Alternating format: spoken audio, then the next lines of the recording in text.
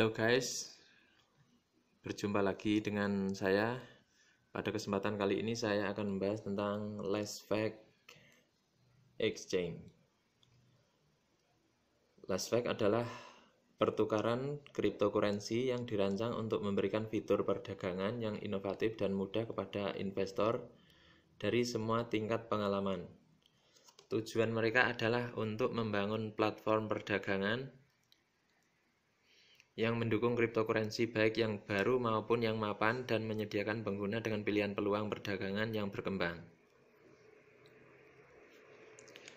Mengapa Lastfake? Lastfake adalah pertukaran cryptocurrency yang dirancang untuk memberikan fitur perdagangan yang inovatif dan mudah kepada investor dari semua tingkat pengalaman, Lastfake merupakan platform yang akan mengekspos cryptocurrency, crypto trading, dan aset blockchain kepada masyarakat untuk umum melalui antarmuka pengguna yang dirancang dengan baik dan teknologi crypto trading yang mudah dipahami.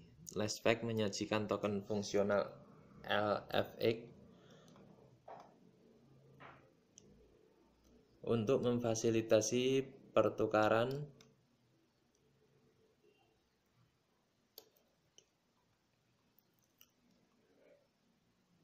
yang dirancang untuk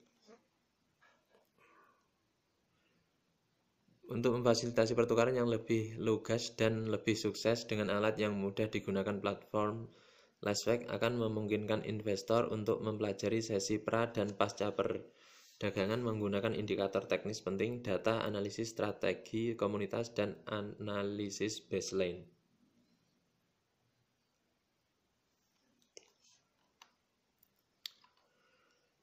fitur iklan, pasar perdagangan, sistem vote, e-commerce, jasa, 24 jam dukungan, dompet dingin, sistem escrow cerdas, pasangan perdagangan,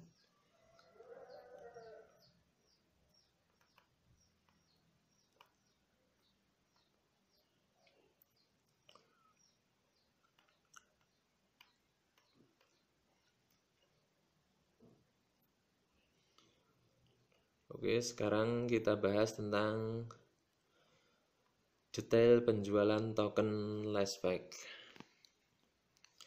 Lastfake adalah token utilitas ERC20 dengan mekanisme luka bakar untuk digunakan sebagai token utilitas dengan ekosistem Lastfake biaya listing yang lebih rendah saat membayar dengan Lastfake token. Pembayaran di Lastfake e-commerce. Nama token Lastfake, simbol LFX, pembayaran Bitcoin dan Ethereum, tipe ERC20, penjualan 30 September sampai 8 Desember. Harga 30 September sampai 6 Oktober 0,03 US dollar. 7 Oktober sampai 13 Oktober 0,04 US dollar, 14 sampai 20 Oktober 0,05 US dollar. Yang terakhir 25 November sampai 8 Desember 0,11 US dollar.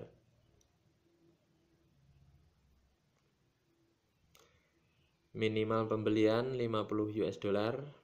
Pembayaran Bitcoin Ethereum distribusi dalam token sell tergantung pada penjualan. Soft cap 5 juta US dollar hard cap 50 juta US dollar